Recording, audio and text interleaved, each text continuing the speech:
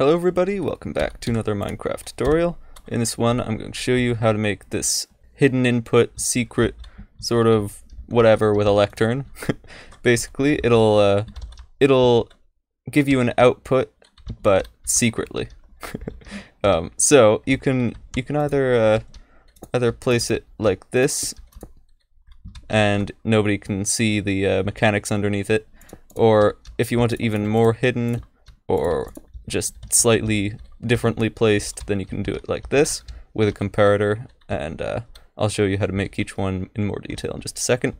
The way this works though is you take an output from this dropper with a comparator, and when the comparator turns off, that's when your output uh, occurs, that's when the door should open or whatever.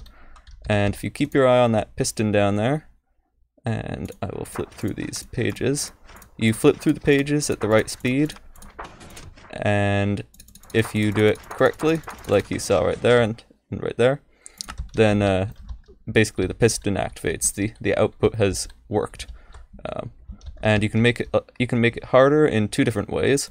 Either you change the number of pages in the book. If it's two pages, for example, then you'll have to go back and forth like this, and that'll be harder to uh, harder to trigger the output with or you can go into the dispenser, add more items, and that'll require more page turnings to uh, uh, to trigger your output. However, that's about that, and it's time to show you how to build it. For the first style over there, the small one, basically the only things you need to do are place an observer, apparently not like that, an observer facing upwards on top of that block, and set a lectern on top of the observer, like so. And once you've done that, then you place a dropper down there by the block that the observer is going into, and a hopper facing into the dispenser right above it, or the dropper, I guess it doesn't matter which. Then you place a few items in. Probably two is enough to make it so that no one will stumble upon it accidentally, but I think four works pretty well. More will make it more difficult, less will make it less difficult. Then you place your book inside the lectern. Then you take your output by placing a comparator in any position that has access to this uh, to this dropper. And when the, when the comparator turns off, that's when the output should be triggered. That's that's the detection mechanism.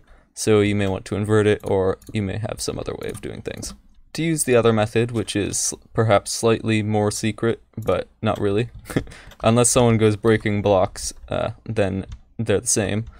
You place a block there, block there, and block there, and a lectern on that block with a comparator detecting through that block, and a redstone dust on top of the observer.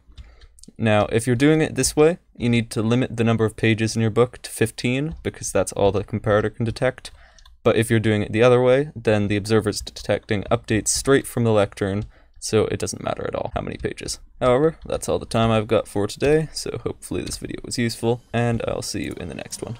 Take care, and bye-bye.